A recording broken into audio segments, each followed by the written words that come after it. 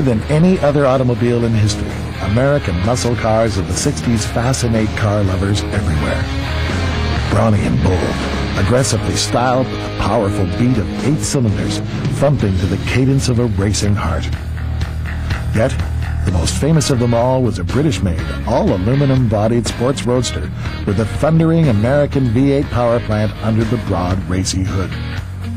No more than a thousand of these cars were produced in the 60s, but so powerful was the memory of this world record-breaking marauder that a whole industry evolved to replicate this most recognizable profile in race car history. More than just an historic artifact, the Mark III embodies the spirit of exuberance, of power and guts, of the innovative inventiveness for which Americans are famous.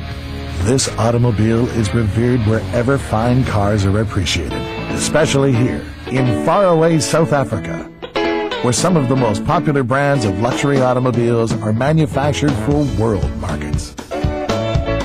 South Africa is a modern, well-developed industrial powerhouse, a fascinating kaleidoscope of contrasts, breathtaking landscapes, unspoiled sea vistas, and modern cities a vibrant and progressive economy. This is the birthplace of Superformance, a modern, state-of-the-art 270,000 square foot automotive production facility in Port Elizabeth. Here, Hi-Tech Automotive's more than 600 dedicated craftsmen and production employees build component vehicles and race cars in steel, aluminum, and composite materials under the watchful eye of Jim Price, owner and driving force behind this state-of-the-art facility. Hi-Tech is home to the legendary Superformance Mark III, the nimble S1 Roadster, the exciting Noble M12 GTO, a sleek 200 mile per hour plus Superformance coupe, and all the SAS cars raced in South Africa. Under development are Superformance's long-awaited replica of the world-beating GT40 and a steel-bodied street rod to be contractually produced for an American customer. In less than 10 years, this plant has grown from a modest 3,000 square foot shed to the world's largest privately owned specialized auto manufacturing plant.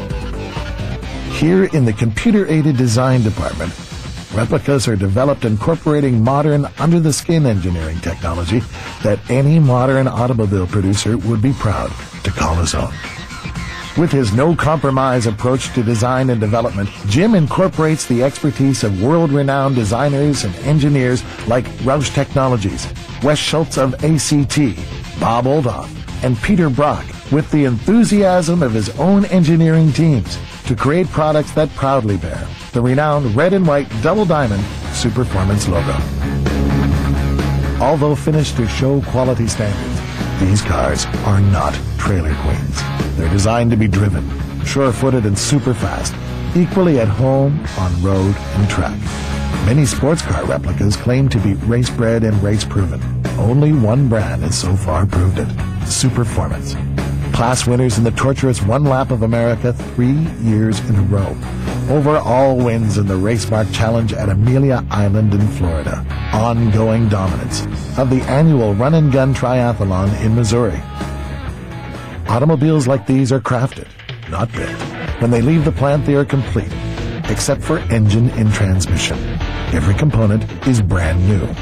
Nearly 2,000 Superformance Mark III's grace the roads of America, new testimony to the quality and popularity of these respected machines.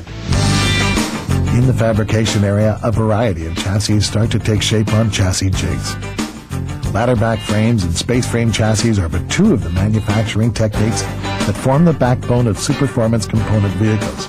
And modern welding technology ensures that the chassis conform to tight tolerances computer-aided design techniques demand. The Mark III and Coupe have heavy-duty parallel ladder frames with gusset plates, front and rear crumple zones, large diameter outriggers, and steel scuttle frames. The front suspension is built up around unequal length tubular A-arms with custom designed Bilstein coilovers. The rear suspension is also fully independent with in-house crafted hub carriers and coilovers in the composite shop. one of the largest in the southern hemisphere. The Mark III, Coupe, and Noble bodies and panels are hand-laid in a vinyl ester composite, then heat cured before being moved to the body preparation area. Here, the bodies and other panels are hand blocked to perfection. Hoods, trunk lids, and doors are matched and fitted to the bodies to ensure that closing lines meet tight tolerances before the body and its panels are moved to the paint preparation shop for priming. From here, it's a short step to the paint shop where components receive base, color, and clear coats in one of four clinically clean, ultra-modern spray-proof curing oven combinations. Meanwhile, other components take shape in various departments in the plant. What cannot be sourced from original suppliers are handmade in the factory. Where available, original components are sourced from existing suppliers to ensure that components and processes in the plant conform to exact quality standards. The Quality Control Department is in the process of installing the International Quality Standard TS 16949, which is specifically designed for the automotive industry.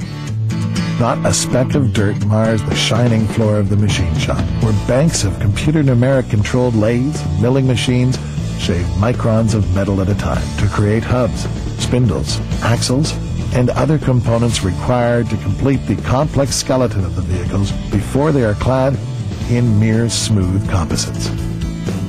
This windscreen frame is fabricated from custom-drawn brass extrusions, hand-bent, finished and polished before they are sent out to be chromed. The dashboard has the authentic 60s layout. The instruments replicate the gauges of the same period.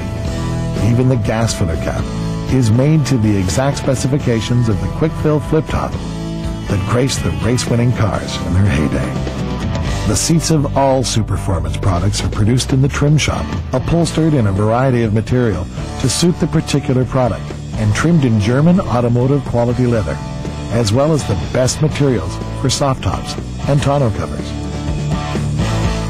The bodies of the Mark III and Coupe are mounted to the chassis and isolated from the inner panels using flexible urethane adhesive to prevent print through and eliminate flex and stress cracking. In the assembly hall, the finishing touches are applied to the stunning aerodynamic shape of the Superformance Coupe. Capable of more than 200 miles per hour, this Peter Brock design body is more aesthetically pleasing, more form-provoking, and more function-oriented than Peter's original early 60s design.